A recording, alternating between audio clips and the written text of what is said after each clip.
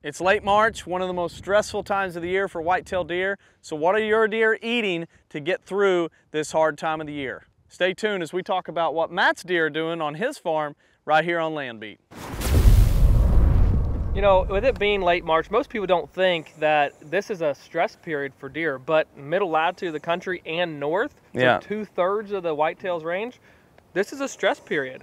A lot of the food plots and spilled grain and woody browse and other forms of food have Yeah. been consumed since basically November. They've started eating it. Now we are months later and we still haven't reached spring green up.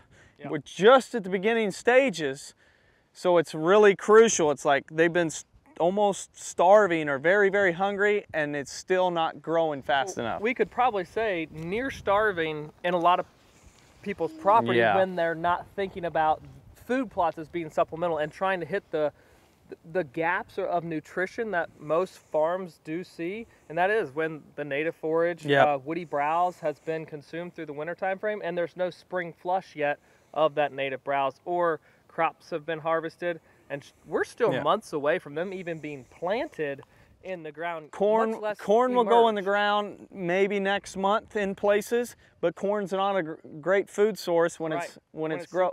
Yeah, super young, and it takes months for it to ever really be much of a food source. Soybeans are then past that, Yeah. so we're almost two months or a month and a half for sure out of soybeans being planted for much of the whitetail deer hunters in the country.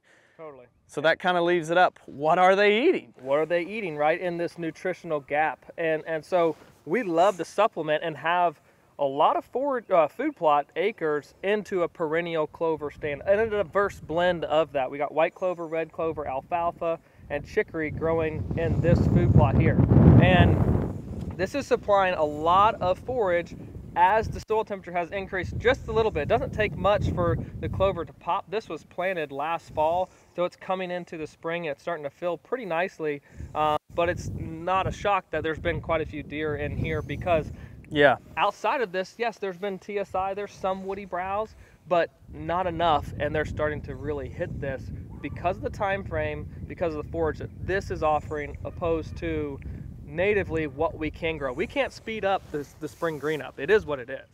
The thing I like so much about perennial food plots like the one we're standing in is it fills that void between crops being uh, consumed or food plots being overconsumed and then the new planting of the spring. So this fills a nice gap in the, uh, the forage needs of a white-tailed deer. And, uh, and it doesn't take a lot of maintenance. I know we, a lot of people wondered, we did a video uh, not too long ago about clover and I think it was titled Clover is King.